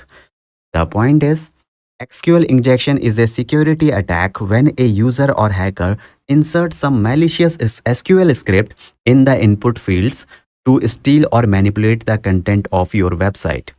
That is SQL injection. What are some best practices for security in JavaScript? Here are best practices for implementing security in JavaScript. First is input validation always validate and sanitize user input to prevent XSS and SQL injection attacks. Okay. Do not let the user to submit any invalid data. Validate the input first. The second practice is avoid the use of eval. Uh, avoid using eval to execute the dynamic code because it can introduce some security risk by executing untrusted code, right? Some string, string is converting into the dynamic code, which can be dangerous, right? The next best practice is secure communication. Always use HTTPS, not HTTP for secure communication. The next best practice is authentication and authorization. Always use strong password hashing algorithms as a developer, I never allowed the users to use short and easy passwords. That should be a practice because that can be easily hacked, right? So there are many more best practices, but these are like the most basic ones. What are the best practices for improving performance in JavaScript? Here are some best practices for improving performance. First is minimize HTTP requests. Combine and minify the JavaScript files into a single file to reduce the number of HTTP requests. Okay. For example, use module bundlers to uh, minify the files of the JavaScript, HTML, images. So use module bundlers. Second is use asynchronous operations. Utilize callbacks, promises, or async await to perform asynchronous operation and avoid blocking the main code, main thread. Okay. Third practice is to minimize DOM manipulation. Continuously manipulating DOM is a very time consuming process. So minimize it, it as much as possible. It is not possible that you will completely remove it because it is necessary. But yes, try to minimize the DOM manipulation. Next best practice is avoid memory leaks. For that, remove the event listeners when events are no more required. Okay. So that otherwise they will just uh, occupying the memory in your JavaScript engine and then that is like uh, if uh, um, impact the performance, right? Next is cache data. Store frequently used data in memory or web storage to make the application fast and responsive. Next best practice is use lazy loading. Use lazy loading technique to load the resources only when they are needed. This will improve the initial page load time of your website. Okay. Last but not the least is optimizing images. The more images on your website, the long, longer it will take to download, right? So compress them or optimize them to download, fa download faster. So these were some of the techniques to improve the performance in JavaScript based web applications. Congratulations, you have almost completed the course. If the interviewer asks you straightforward question like uh, what is set timeout, what is set interval, you can easily answer them. But what if the interviewer asks you the same questions in an indirect way? For example, this first question, how do I execute a piece of code repeatedly after uh, a fixed interval of time, fixed time basically. So this is simple and same, but sometimes we stuck in these kinds of questions also, all right? So here are 20 questions that have mostly one word answer. These are the first 10 and then we have 10 more. So here is some advice for you also. Just before I started answering the question, try to pause and think about the answer yourself. Okay. So got it. So let's start with the first question. How to execute a piece of code repeatedly after some fixed time? Good question. This is possible by using the set interval function of JavaScript. Here is the piece of code where you can use, uh, see that inside uh, the set interval method, we are passing two parameters. The first parameter is the code and the second parameter is the time. This means that interval method will execute the code in first parameter in every one second repeatedly again and again. That is the answer. How to handle asynchronous operations in JavaScript? Simple. By using promises or async await mechanism. Here is a sample code for async await. This is just the sample high level code, not the complete one. Okay. How to manipulate and modify the CSS styles of HTML elements dynamically. Again, think for a second. The answer is by using the DOM manipulation method style.set property. Here is the code sample where you can see the first we are getting the reference of, of this my element in the element variable and then we are using the set property method of the style property of the element to set this the color of this uh, color property of the element to red okay so that's the answer short and simple how to handle errors and executions in your code? The answer is by using the try catch statement. Yes. Here is the sample code for the try catch. And you can see that you can put the whole logic inside the try block. If there is any error inside the try block, then that error will be sent to the catch block with the error message. That is the short answer of this question how to store key value pairs and efficiently access and manipulate the data. For key value pairs, the best way is to use either objects or maps. For example, here is a person object and you can see it can store both the key and the value. Now in order to access the value, you can use the dot notation to access the value of the key like this person dot name. And if you want to manipulate the value of the existing property, then just assign a new value to the property and the, that's enough. How to iterate over elements in an array and perform a specific operation on each element? Answer is by using array methods like for each, map or for of loop.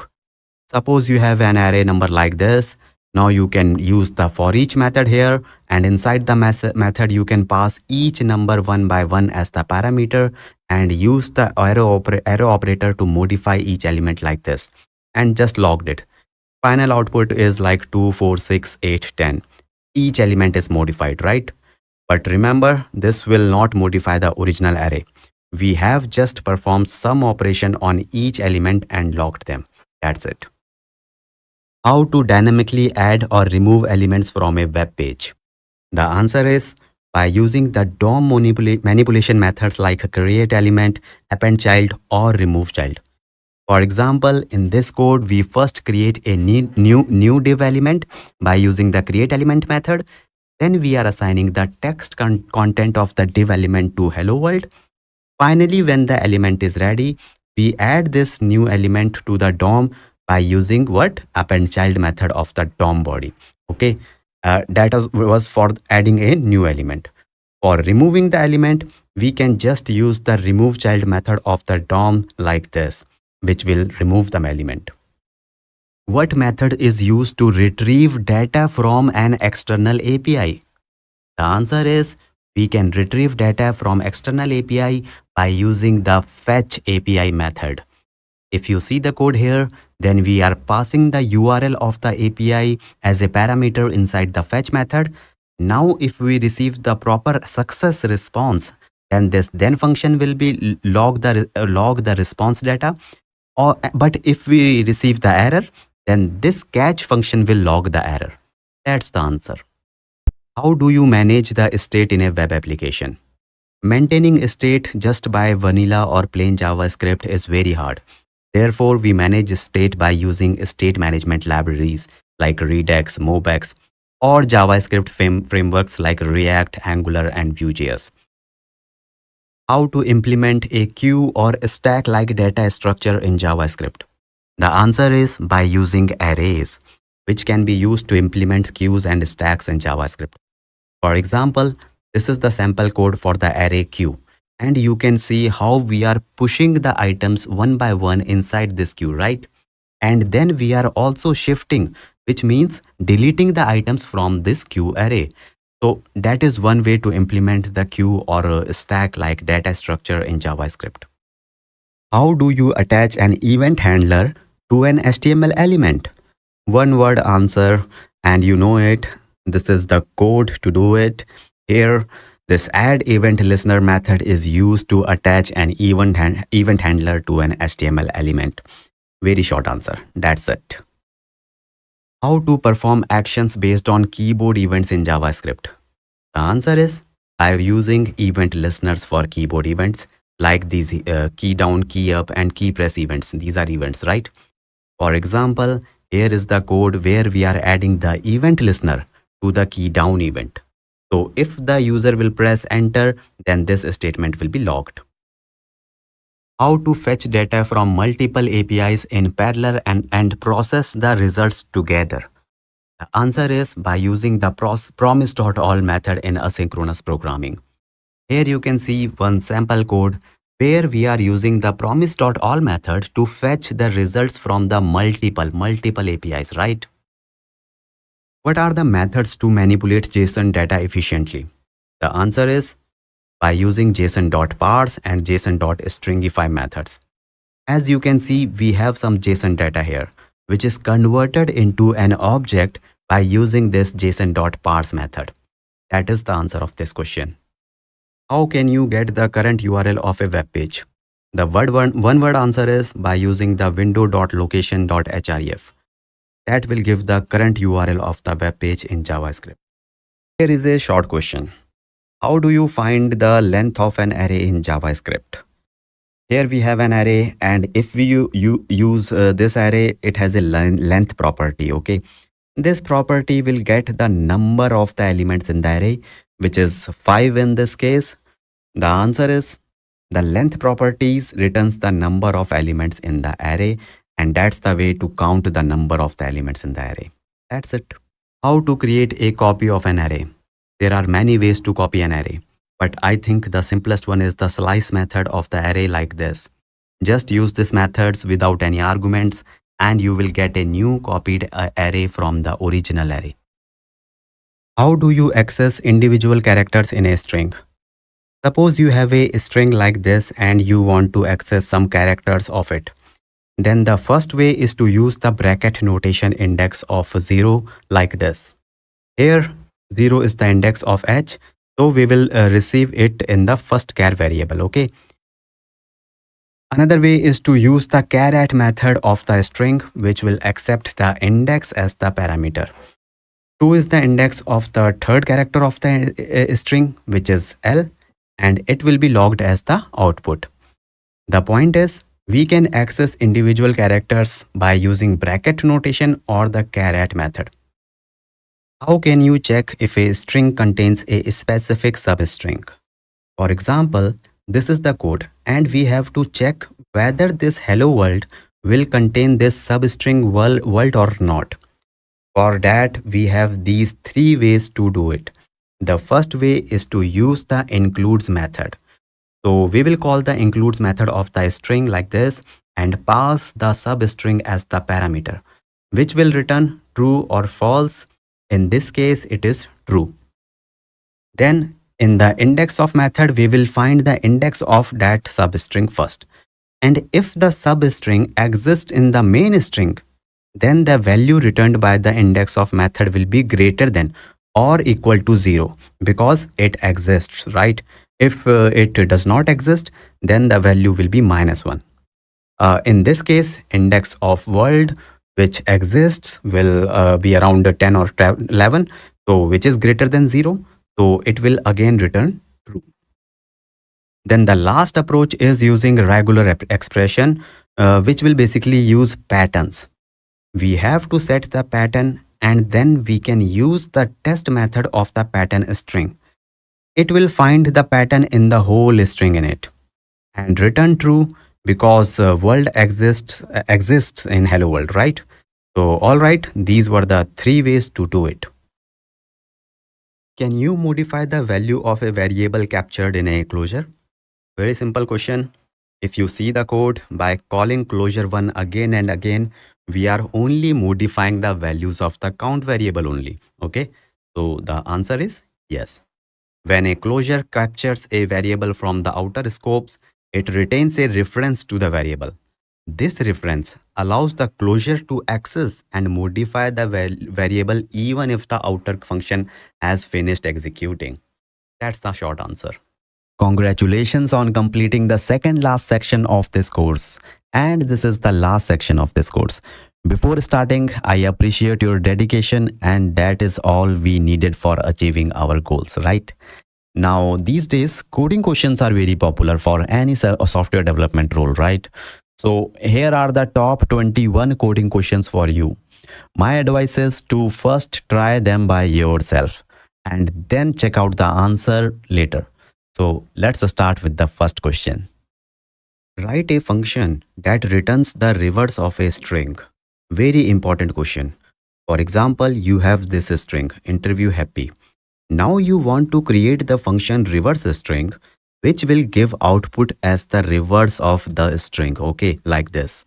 This is a very com common question and every developer should know it. I will tell you two ways of doing it. First is by using the for loop. For that first we have to initialize an empty string to store the reversed string and then we can use the for loop to iterate through the characters of the input string in reverse order okay so here we will set i as the last index of the string. And then moving in reverse order, we will go till the i is greater than equal to 0, the index, and continuously decrementing it. Then we are simply putting the characters from the last element of the string one by one in the new reversed string. So this is one way of doing it. But there is one shortcut and very smart way to do it also. That is by using JavaScript inbuilt functions, okay? Here first we split the string into an array of characters by using the split method. Then we reverse the order of the elements in the array by using the reverse method. And at the last, we again join the characters back together into a single string by using the join method and this one line of code will give you the expected result as an output. Going forward, in most of the question, you can solve the problem in two ways. Either you can use the for loop and the if-else condition with very long code, or you can use the JavaScript inbuilt methods to write the code with shorter syntax, okay? Both are correct, but if you know the JavaScript function very well, then use them as much as possible. Write a function that returns the longest word in the sentence. For example, you have this sentence and now you have to create a function called um, find longest word which will find the longest word in this sentence. Here you can see JavaScript is the longest word in the sentence, right? So you want JavaScript as the output. Now for this, first declare the function and pass the sentence as the parameter. The first step is to split the sentence into an array of words by using the split method and space will be the delimiter here, okay, the separator. Then you can just initialize one empty variable, uh, longest word. In this kind of question, uh, always remember one thing, whatever the output is, first always initialize a variable with an empty value or some value that later you can set the expected output in that variable okay? So like that is the way of do, solving this kind of questions declaring a variable first.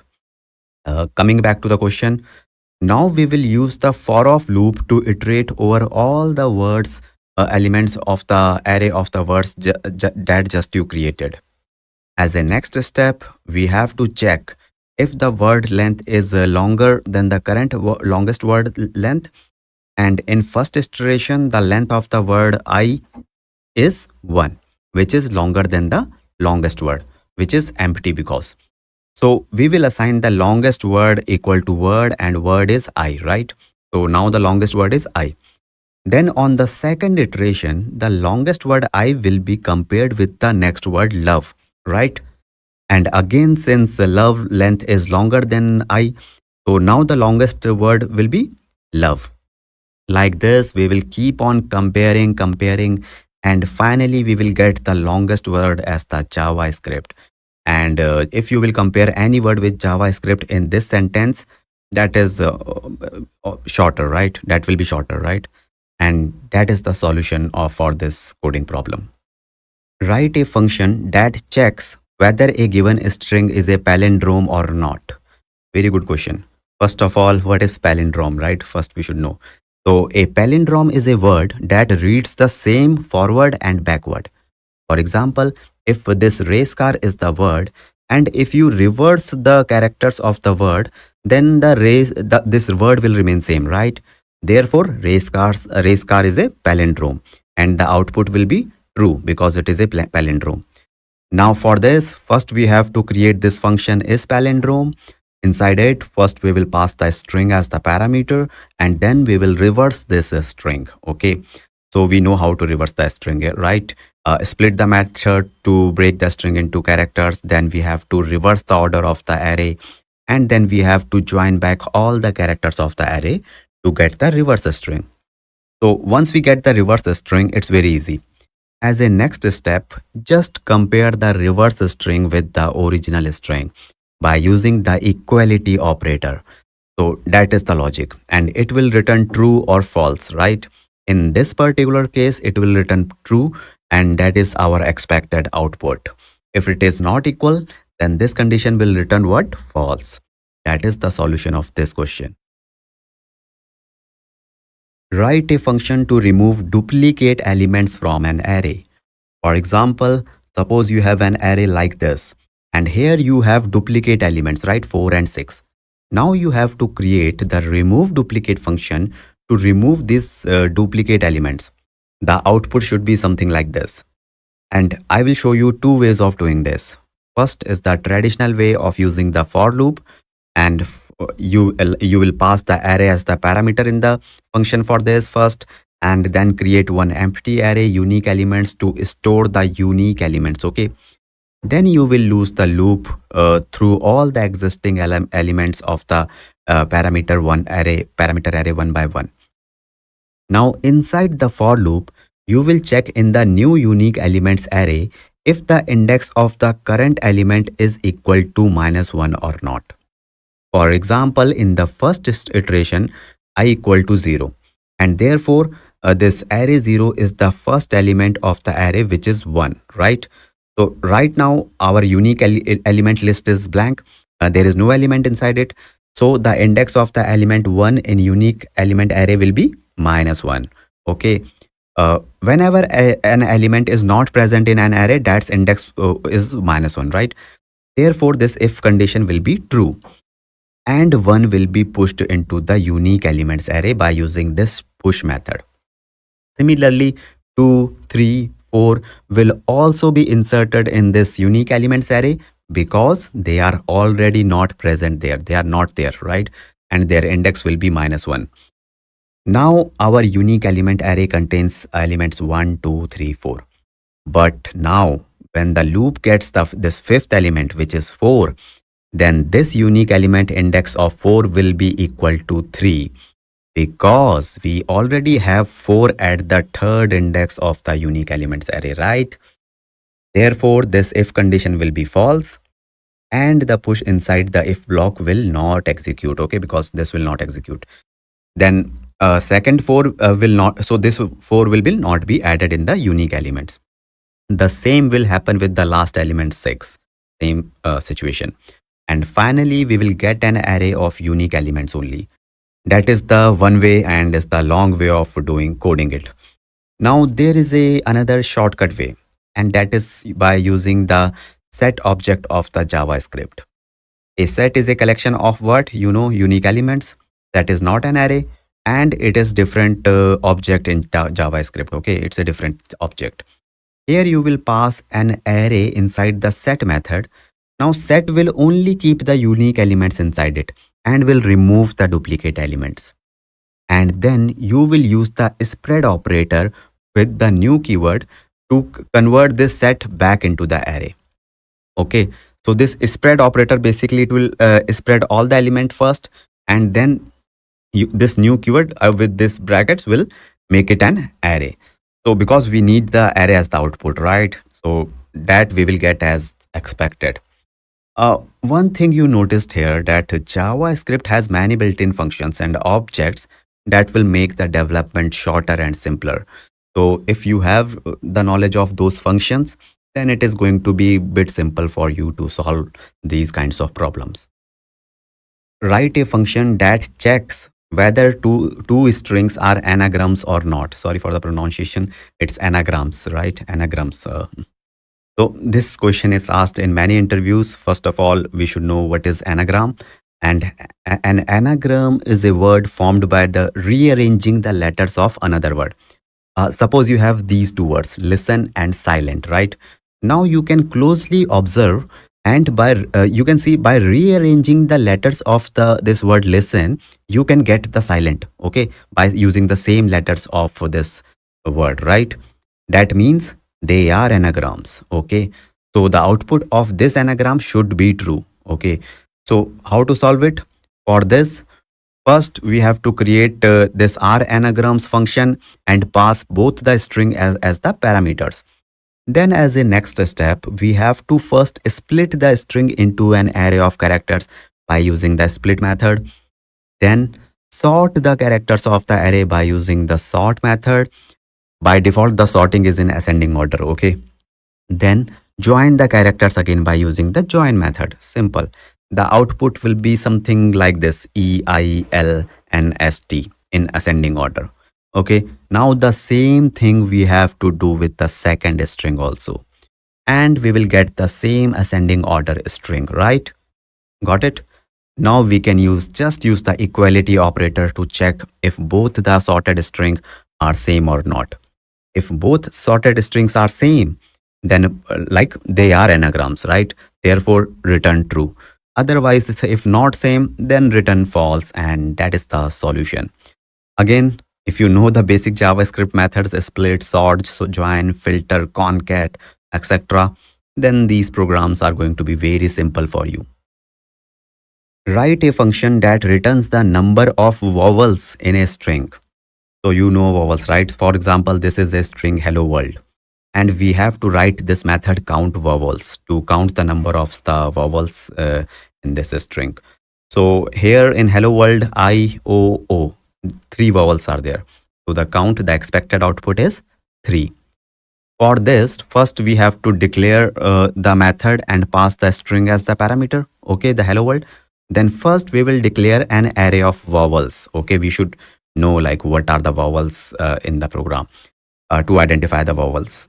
And then we will set the initial value count to equal to 0 because as I said earlier first we have to set the expected expected output as the variable. Okay count equal to 0 now we will change this count uh, by the logic. So then we will iterate through each character in this string by using the for loop. Here you, we will check if the character is a vowel. For example if first letter of hello world is H, then in the array of vowels, we will check the existence of H, H char by using this includes method. So if H is not there in this vowel array, uh, which it is not, so this condition will be false and no increment will be happen to the count. But for the next letter E of the string, E is there in the array of vowels because it is a vowel. So the count will be incremented from 0 to 1 this time. Next time for both uh, O and again for O, the count will be incremented again and we will get the final count value equal to 3 and that is the expected output right? And that is the solution of this problem. Write a function to find the largest number in an array. For example this is an array of five numbers and we have to write the method find largest number to get the largest number out of this array uh, the output should be 9 you know like by saying it you know but we have to create the program so first we will create the method and here we will assume that the first element of the array is the largest element. We will start from here, okay?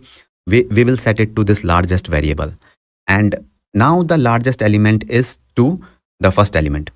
Now inside the for loop, we will start from the index i equal to 1. Why not uh, started from 0? Because uh, element at index 0 is already the largest. We assumed it, right? Now we will start iterating over all the elements of the array. Inside, we keep comparing those elements with the current largest element. For example, first we will compare the current element at index 1 which is 4 with the largest 2. Uh, if the current element 4 is greater than uh, this largest element 2 which it is yes then we will assign the current element to the largest element. So the largest element will be 4 now. Then we will do the next iteration and the comparison and this we will uh, do and do and uh, get the like the first four will be the then six uh, is greater and at last we will get the nine but after nine the next element is three and three is not greater than the largest number nine now so this if condition will be false and the largest element will remain what 9 okay and that is the expected output Write a function to check if a given number is prime or not. Good question by great teacher. so we know the prime numbers, right? Uh, a number which is only divisible by 1 and itself. For example, 7 is a prime number. So we should get the output for 7 as true. But uh, 10 is not a prime number. It can be divided by 2 and 5. So the output uh, should be false uh, for 10. Now to code this, First create this is prime method and pass the number as the parameter. Uh, then use the for loop to iterate from 2 to the given number divided by 2. Why we are starting from 2? Because we have to ignore division by 1 because we know uh, every number is, is divisible by 1 and uh, that that is the not the prime condition, right? Uh, prime numbers are also divided by 1. Now, for example, if 10 is the number, then you have to start from 2 and you have to go to what 10 divided by 2 equals to 5 so 2 to 5 i give the reason gave the reason for 2 but why 5 is the last of, uh, number because any number can be divided by maximum the number that is the maximum half of that. For example 10 will never be divided by a number which is greater than 5 right? Like 6 7 8 9 it will never be divided by those number. So that is like the optimization.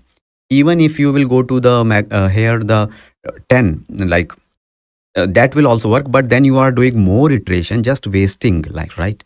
So better to optimize now second step check the remainder of the number divided by 2 uh, this percentile operator is what? Remainder 10 divided by 2 the remainder will be 0 so then return false because then 10 is not a prime number. But if the number is 7, then you start from 2, 7 percentile 2, remainder will be equal to 1, uh, uh, which is, uh, yes. So then 7 divided by 3, remainder again equal to 1. So if this con if condition is always false for every iteration, therefore at the end, true will be returned. Okay, right? So which means the number is a prime number. Write a function to calculate the factorial of a number. Here you can see we have 5 as a number and we want to create a, a function factorial. The factorial of a number is to multiply the number with all previous numbers from 1 to that number itself. For example, for 5, the result will be the multiplication of 1, 2, 3, 4 and 5 which will be equal to 120. That is the expected output. For this, first we will create the function and pass the uh, number as the parameter as always. Then first we, we must handle the edge case because what is edge case? Uh, exception case also you can say because the factorial of 0 will be always 1. Okay, so uh, that is the edge case. We cannot, uh, you know, code for it. That is simply a constant thing. Then we will first initialize the factorial variable with this value 1. Now we will use the for loop to multiply the start uh, multiply the numbers starting from 1 to the number itself.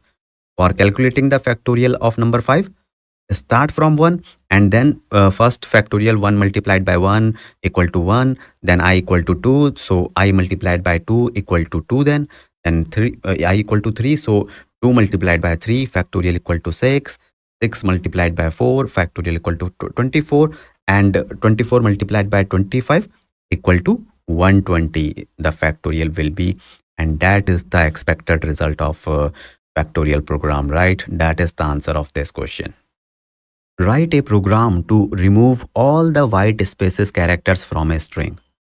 For example this is the string you have. And you have to create one method to remove all the white spaces from this string. Output should be something like this a word with no spaces. White space means in the spaces only. For this First create the method and pass the string as the parameter. There are now two ways of doing it. First, use the for loop and I leave it to you to use the for loop to just remove the white spaces. I know you can do it, right? That is very much similar to previous questions where we used for loop, right? Now the second is the shortcut way and it is something like using a regular expression. Here we have to use this slash s to find the spaces, tabs and line breaks. Okay, this slash s will resemble spaces, tabs and line breaks. And this g flag is used to do the global search. So, which means it will search the slashes, the spaces, tab and line breaks all over the string. So, this g uh, re is responsible for searching. Okay.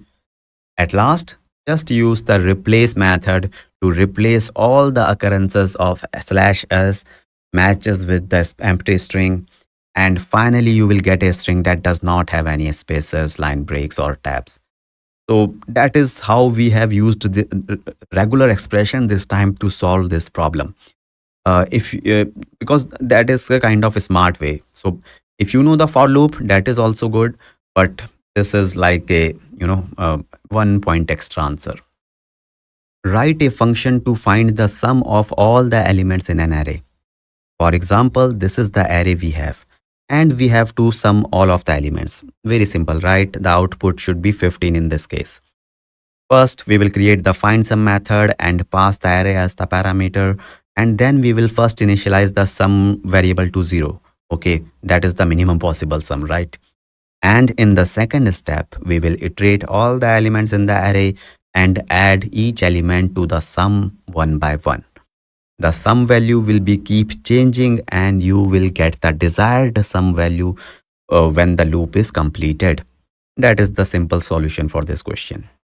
Write a function to find the average of an array of numbers. For example, this is an array of numbers and we have to find the average of all of them. In this case, you know the output will be 3. For this, first we will calculate the sum, right, of all the elements by using the for loop that we you already know. Then we will divide the sum by using this array dot length uh, means uh, what it means is the, the number of elements in the array. And this will give us the average of the array. That is the simple answer of this question. Write a function to sort an array of numbers in ascending order. Very important question and very tricky also. For example, we have an array of numbers like this. Now we have to create the method that will give the output as the sorted array in ascending order. In this case, output should be like this. now maybe you will say that we will directly use the sort method okay just and that's it but uh, that is uh, wrong actually so now remember that by default the sort function sort values as strings not numbers okay so if you use the blank or empty uh, sort method with numbers array it will produce the incorrect output. You can try it okay? So let me explain what what is this a minus b logic then which we will put with the sort method here. Here the a and b parameters uh, will be start from the first two elements of the array. In this case first a is 10 and b is 1 a minus b uh, will be 10 minus 1 equal to 9 which is positive if positive then the element position will be swapped swapped okay now the array will, will be like uh, 1 and 10. So both elements are swapped. 1, 10, 20, 2, 5. This is the new array. Then these A and B will be the next consecutive elements which are 10 and 20. Now A minus B, 10 minus 20 equal to minus 10 which is negative. Therefore this time no swapping. So elements will remain same at their present position.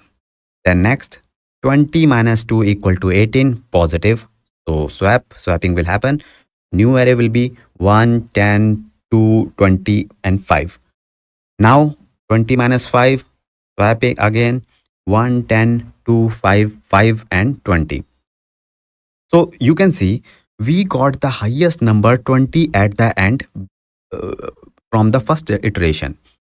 Then again the same a minus b iteration will happen for the first four numbers only because last element is fixed. Fifth element is fi fixed which is 20 now we have to uh, uh, sort the first four elements. And the second uh, highest number will be set at the fourth place because of that then again we will do uh, the sort method will uh, you know do it for the first three numbers and then for the first two numbers so internally, this sort function will iterate for four iterations like this. Okay. And you are getting the expected output by writing just one line of code like this sort. Okay. So that is the beauty of the JavaScript inbuilt functions. You, uh, you can also use the for loops for this multiple lines of code. You can understand how many lines of code and the conditions you have to put if this swap. Uh, so swapping also you should know how to swap two numbers and so all this is done by this sort a minus b. Okay. Now I hope you got it. Write a function to check if a given array is sorted in ascending order or not. Okay. Think, think, think. Okay. Now let's start. For example, suppose you have this array. Now you have to check whether it is sorted or not. Uh, in this ca case, the output will be true, right? Because this is sorted. Uh, for this, again, we will create one function is sorted and pass the array as the parameter. That is always we have we are we have to do. Then first we will iterate through the array starting with the second element because inside we are comparing the current element with the previous element if you can see here uh, okay so we will start by comparing the second element with the first element now the element uh, at index 1 is 2 which is greater than the index at uh, 0 index element which is 1 so the condition is false. Then we will compare element number 3 with 2. Again 2 is not greater than 3. Therefore if condition is false again. And like this if we, we, we will continue this we will if we will find any element that is greater than its next element. What does that mean? Then this if condition becomes true and it will return the false from inside right? Which means the array is a not the sorted array okay? If any element is greater than its next element. So that is the criteria. So every time the element must be greater than its previous element but should not be greater than its next element so that means array is sorted and that is the solution of this question write a function to merge two arrays into a single sorted array okay so if you know how to merge, if you know how to sort, you know the answer. Suppose we have two arrays like this. Now we have to merge these arrays and sort them in a single array. So first, uh, this should be the sorted list expected output. Okay. First, we will create the function which will expect uh, accept to two arrays as the parameters. Then first step is to concatenate the two arrays into a single array by using the concat method. Now we have one single array, right? Merged array. Now we can sort this array by using the sort function of arrays, okay? How this A minus B logic work that I already explained in the previous question and don't ask me again, expect me to explain again so basically that is what is the purpose of uh, you know step by step learning. If you will miss the previous step then going to next step uh, you will think that why uh, you know why this is happening. So uh, and you will then try to mug up things which is very bad. So basically yes you already know it i know. That's the solution of this question right? Simple and easy. Write a function to remove a specific element from an array for example, you have this array of elements and you want to remove this target element 2 from the array. And the output should be something like this after removing, right? For that, we will create one function and pass the original array and the target element uh, to be removed like this. Now inside this, we will use the array.filter method, which will basically accept all the elements of the array in the parameter one by one. Then we will be checking whether each array element is not equal to this target removal element 2. So if both are not equal, then this condition will be true and the element will be added to the filtered array, which is completely fine. But if some array element is equal to the target removal element, which is 2, this then this condition will be false and that element will be skipped and will not be added to the filtered array list. And that is how this new filtered array will contain only numbers other than the target element 2. Okay, that is the solution. Uh, I forgot, but instead of using function here, you can also try the arrow function. Like this is the named function, but uh, better to use the arrow operator or arrow function. Then your code will be shorter. Okay, and the result will be also same and i hope you know the filter method which basically uh, again it's i already so basically filter method uh, will add only items which for which this condition is true a very short definition okay? This condition will be true then all those elements uh, will be added in the filtered uh, list. Write a function to find the second largest element in an array so this is an array in front of you and we need the second largest element and which is 8 here. So that is the expected output. For that first we will use the for loop and that is a long way. Okay. I'm going to tell you the short way. You can try the for loop. I know you can do it. The shortcut way is that first we will create the method and pass the array as the parameter blah blah blah. Then we will sort the array in the descending order. Okay. Now remember here is the important thing. If you do A minus B, then you will get an array in ascending order. But if you do B minus A, you will get the array in descending order. So if you have gone through my uh, A minus B logic, then you will try the same in mind. You will understand that it will uh, sort in the descending order. Now you know that the second largest number of a sorted array in descending order will be the second number of the descending array, right? The first will be the largest and second will be the second largest. Therefore, we will use the index 1 to pick the second element of the array. That's simple and that is the solution of this question. Great. Write a function to reverse the order of the words in a given sentence. Or uh, reverse the words, not the characters. Okay, it's different. So for example, here is the sentence hello world. Now you have to reverse the words and something like world, hello. So see, uh, uh, characters not reversed, only words. Now for that, first create the function and pass the sentence as the parameter. Then split the sentence into an array of words by using the split method. Okay. Here, uh, then you have to reverse the array of words by using the reverse method. At last, just join the reverse words into a new sentence by using the join method and uh, space between them. You have to put some space, right? So finally, you will get the reversed sentence. Write a function to find the longest common prefix among an array of strings.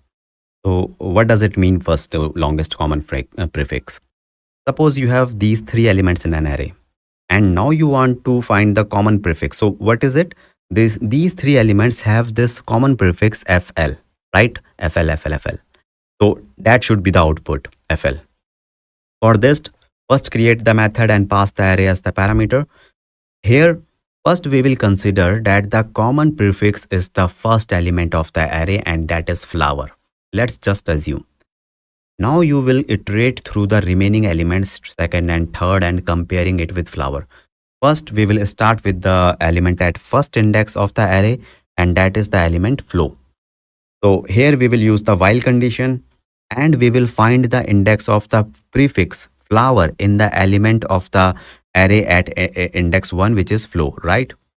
But flowers is not present in flow. Therefore, this is result will be minus 1 and minus 1 is not equal to 0 therefore this while condition will be true and the execution will be go inside now inside here we will remove the last character from the prefix flower okay uh, by using this slice method so now our new prefix so basically we have to you know this prefix which we initially set to flower we have to somehow get the FL in this prefix only. We have to keep on doing the logic. So, uh, okay. So now here we will get the new uh, new first prefix, which is FLOWE because we removed the last uh, character by using this slice method. Then again, the while condition will run and this new prefix is also not present in flow, right? Then again, we will remove the last character from the prefix and now the new prefix after removing the e last character will be flow f-l-o-w and this time flow is present inside flow. Matlab flow is present in flow right? Therefore the result will be equal to 0 and this will while loop will not execute. And the common prefix we get from the first two element values is flow now. Then the upper for loop will execute the second time. Now the value of the i is equals to 2 and at index 2 the element is flight. Our last prefix was flow. But flow is again not present in flight. So again this will be equal to minus 1 which is not equal to 0. Condition will be true. We'll go inside and remove the last character w from the prefix flow. Then the prefix will be flo just. Again flow is not present in flight, right? Again, O will be removed this time. Now the prefix will become FL, which is present in flight. Now this will become uh, uh, 0 this uh, and uh, the while condition will be false. And the for loop is also completed because the maximum length of the array is only 3. So we got the prefix, right? The FL we got is the final prefix and the expected output of this program good now you are doing really great if you are getting it and understanding it write a function to find the intersection of two arrays. What is intersection? Suppose you have two arrays 1 2 3 4 and 2 3 5 6 here you can see 2 2 3 is the intersection. It's common basically. And that is the expected output of this function. First we will declare the function and pass both arrays as the parameters. And then we will use the set object to store only the unique elements and remove the duplicate elements from the first array. Okay so then we will use the filter method to create an array of common elements that intersect. Here we will apply the filter method to array 2 so one by one all elements of array 2 will be passed as the array uh, as the element parameter. And then that element will be checked to see that whether the set of array 1 already has that element or not. For example, the first element, uh, first time it will check that element 2 of array 2 is present in set 1, 2, 3, 4 and it is present, right? So the condition will be true and an element 2 will be added, added to the intersection array. Then that will be checked with the remaining elements also of array 2 which is 3, 5 and 6 in set. Out of them only 3 is present. So that will be added in the intersection and rest will be ignored. So finally 2 and 3 will be the elements of the intersection array. write a function to calculate the Fibonacci sequence up to a given number. A very important question and very frequently asked. Uh, first of all, you have to remember two points about the Fibonacci. Sorry for the pronunciation. It's Fibonacci series or Fibonacci, Fibonacci, whatever. So the first point about Fibonacci series is they always start with 0 and 1. So always think uh, you have to be clear. Second point is each subsequent number is the sum of the two preceding numbers. For example, suppose you have to get, get the Fibonacci series up to number 10. Then this will be the output. First, always start with 0 and 1. And then from the third number onwards, the third number will be the addition of uh, previous two words, like preceding two numbers, which means 0 plus 1 equal to 1. Uh, then next time, uh, fourth will be 1 plus 1 equal to 2 then 2 plus 1 equal to 3 3 plus 2 equal to 5 and so on. Like this we will have a total of 10 elements in the array right? This is the fibonacci series.